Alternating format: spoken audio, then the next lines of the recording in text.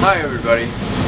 Today I wanted to share with you a really really cool device that I think that we all should have. This is a furnace filter whistle.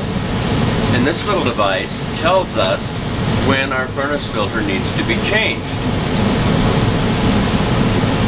It's two pieces. It fits together like this with the filter in between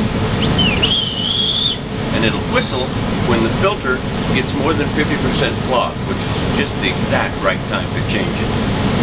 Okay, now I've already prepped uh, a filter here with the device installed, and notice that we're going to put this with the airflow arrow in the direction that the airflow goes, and I've marked it on this furnace, pulling air toward the furnace. I'm going to put this in here and hopefully in about three months, maybe more, maybe less, depending on how dirty our conditions are here in this shop, we should hear a whistle and it will definitely be time to change the filter.